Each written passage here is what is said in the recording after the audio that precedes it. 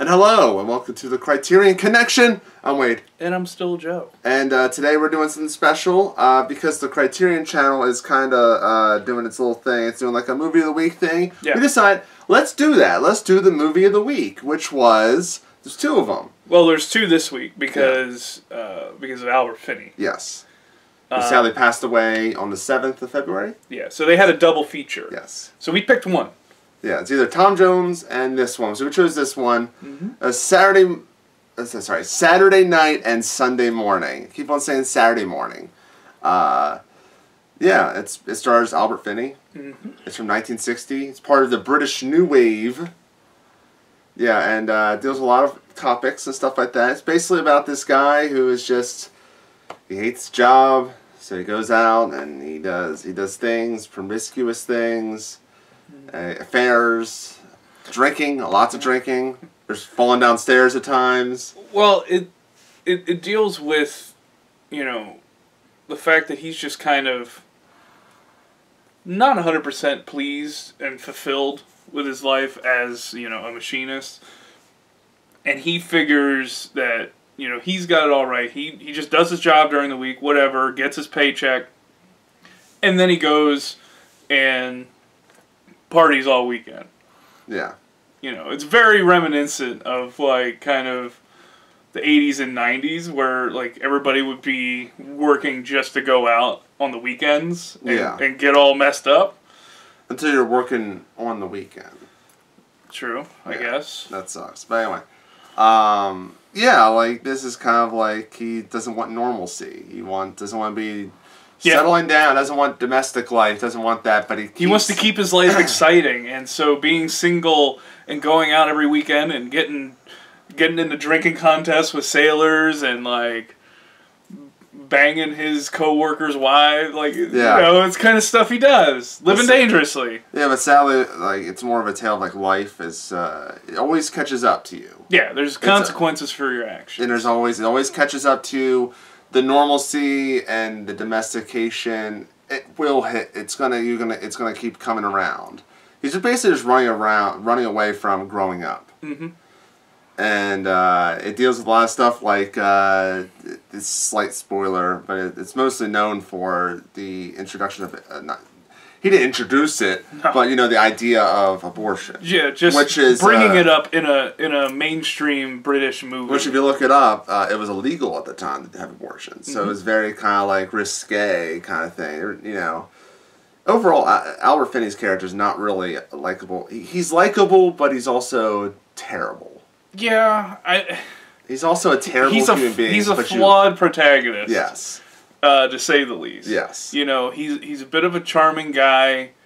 Uh, he reminds me a lot of um, Marlon Brando and James Dean Yeah. around the same time too, Yeah. which is really kind of weird. Yeah. You know, he's he's a good-looking guy, and Has and a he just- magnetism about him. and he just can't help but get himself into all these situations. Like, and, and I think there's a really telling line early on where he blames uh, somebody bumping into him for spilling the drink on on the woman, and Yeah. then he blames the railing for not being there when he's like pissed drunk and he just falls down the steps. Yeah. So, you know, it, it's a lot of. The, the movie kind of deals with him eventually taking ownership of kind of what he's done and, and the consequences of his actions. Yeah. Uh, where uh, he uh, impregnates his coworker's wife when they're having an affair, and, you know, he never really kind of dodges it.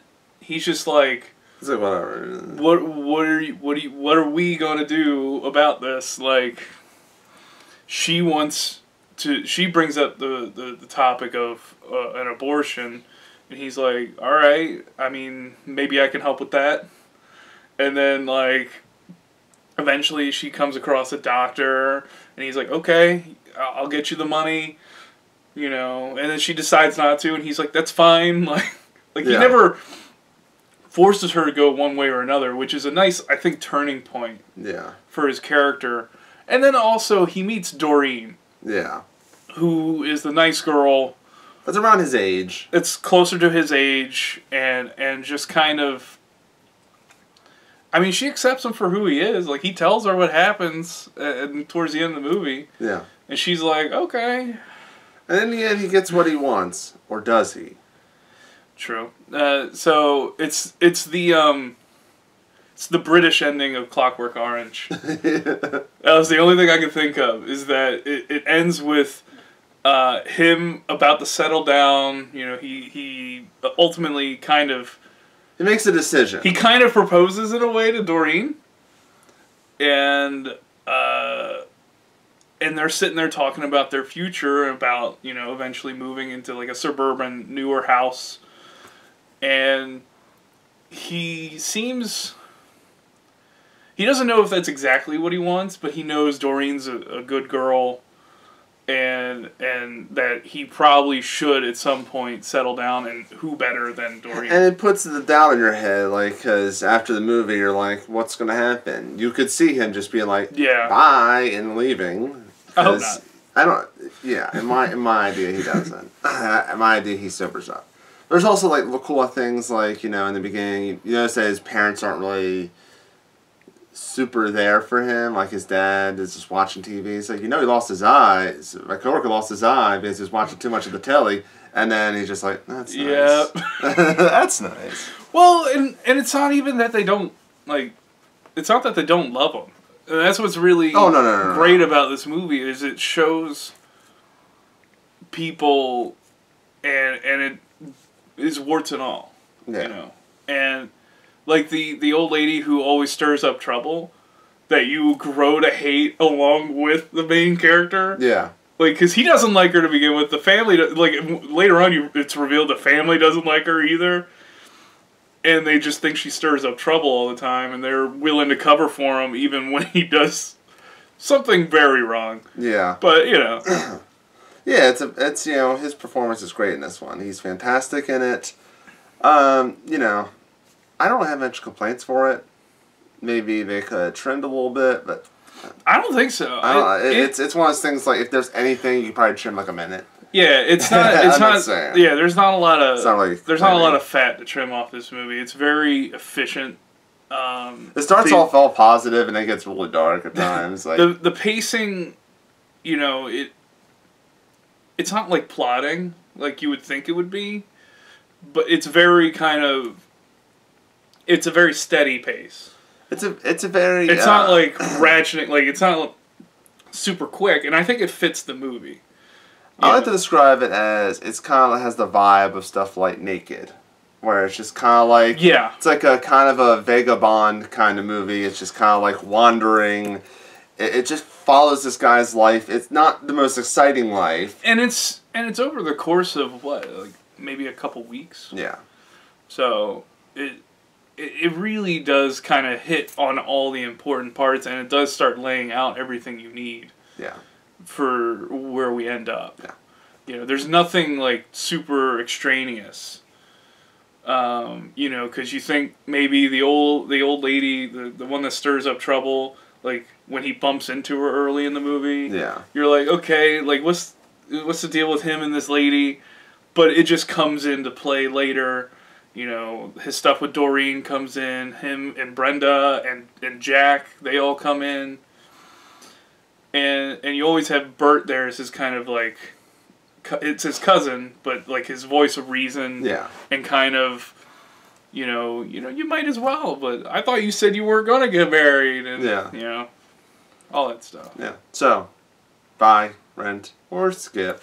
I think it's a solid. I think it's a buy, dude. Um, the only thing that I think prevents it, like the only thing I could think of that would prevent it from being a buy for somebody, is it takes a minute to adjust to the language of the movie, because it's not only like an older movie where, if you remember, like on the waterfront and and movies from that time period, kind of can be hard for um now like modern ear Yeah. it takes a minute to adjust to the, the, the language and the slang.